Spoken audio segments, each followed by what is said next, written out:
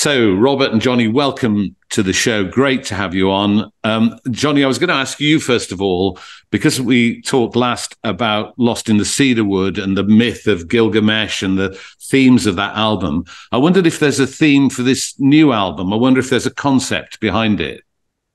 Um, I suppose, I mean, there is, um, but we kind of realized it after after recording it.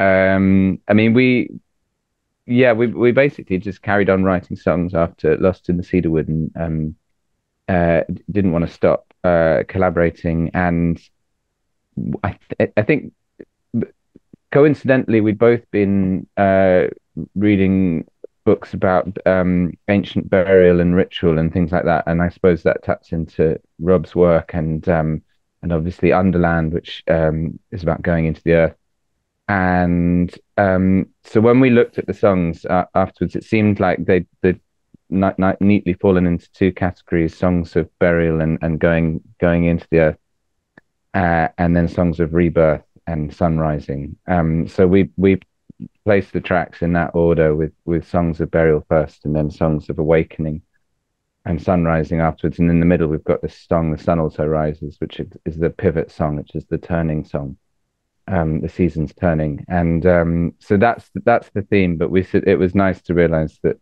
that there was a theme.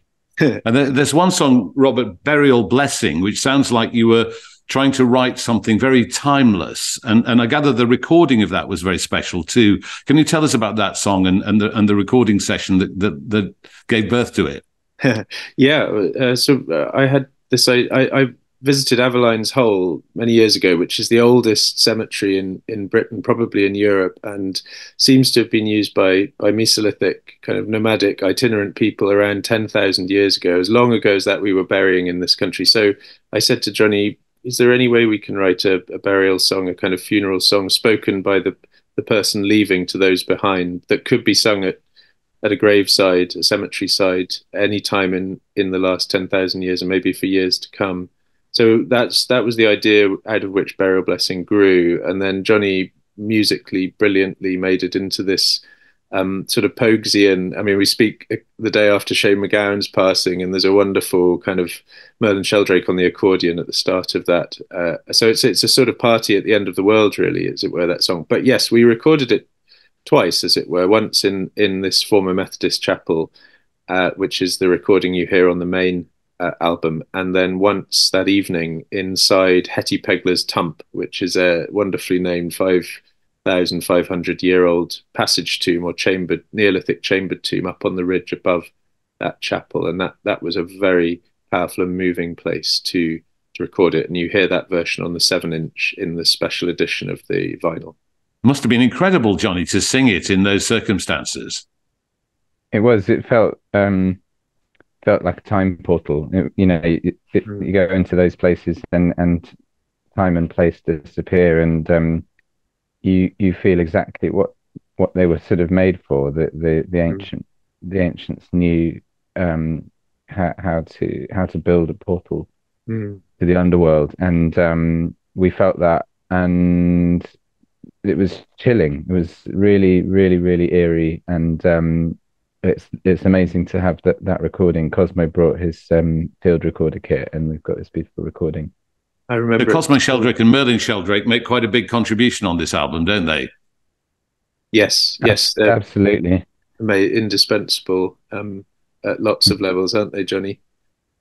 Yeah, I mean they they I suppose they they brought us together in the first place, um, introduced us, and um, helped us stage this annual cricket match that we play uh, now, which is um,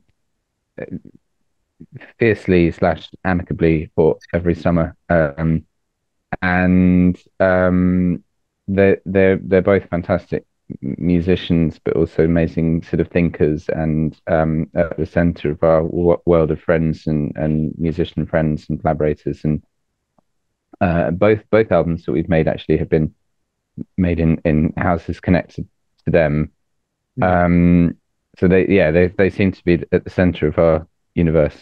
And there's even a, a, song that you wrote for a wedding present for Cosmo on on this album. Uh, where did you give the first performance of that song, Johnny? Uh, well, we were, we were. It was at the wedding reception, so we were at um, Cosmo's wife's Flora's family house, which is where this amazing, beautiful party was uh, in 2021. Was it?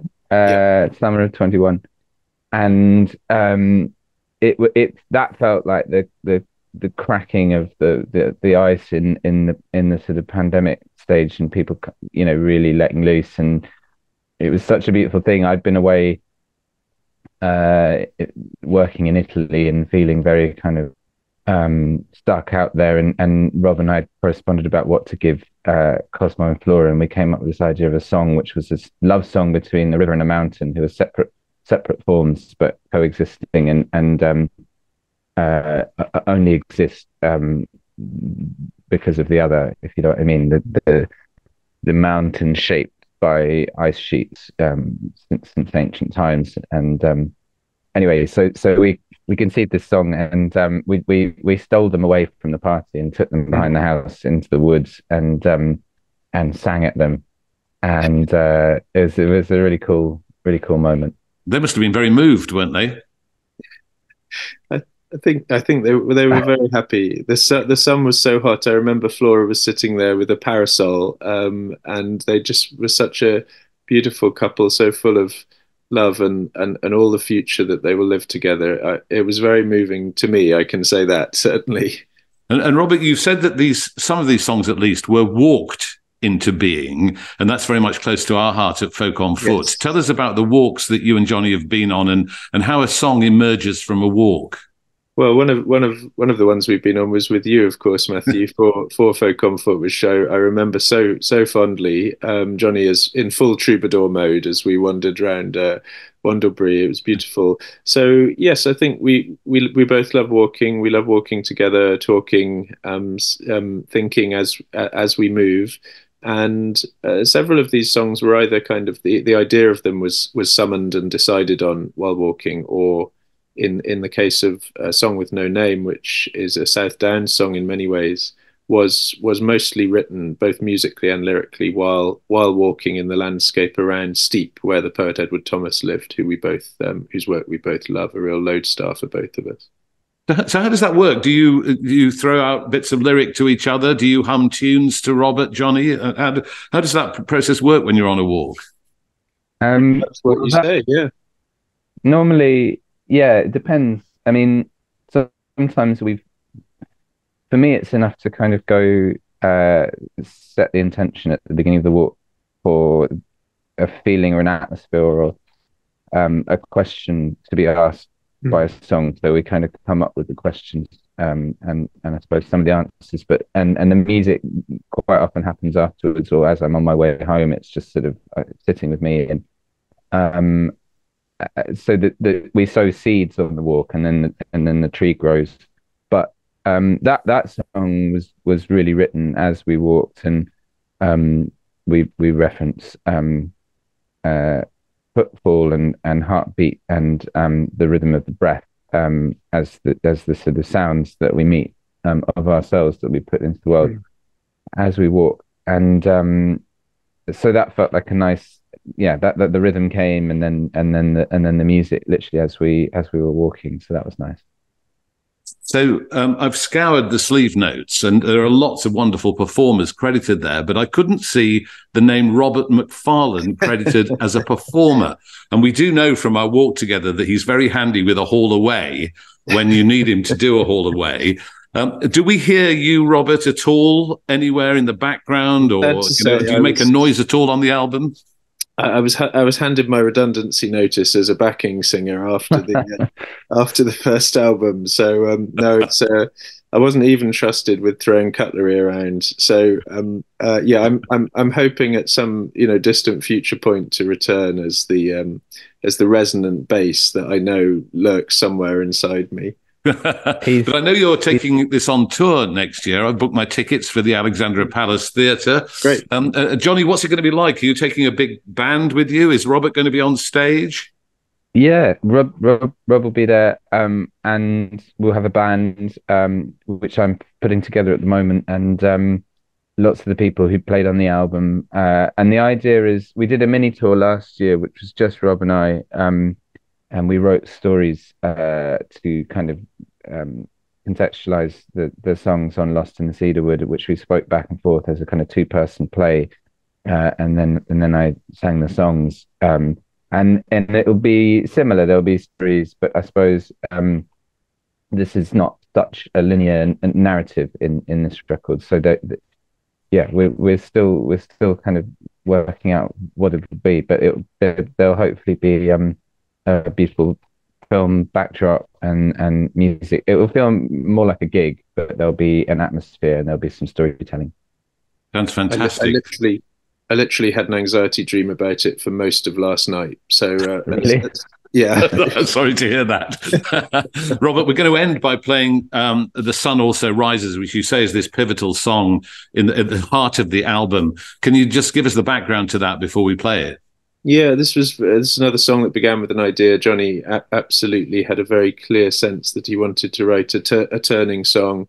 You know, we're, we're speaking just as we run up to the um, to the winter solstice, that, that one of the two great hinges of the year, the corners we all turn, um, and and and this I think has its roots in in solstice turns really. So um, like the the light finally beginning to climb back against the dark, and so it has that chant chant like incantatory quality its lines kind of return but in changed forms. And i just i absolutely love it. Johnny kind of heard it and saw it and made it and summoned it into being then with all of these voices that gathered in the chapel to record that album. Were you influenced bit johnny by the wassail songs?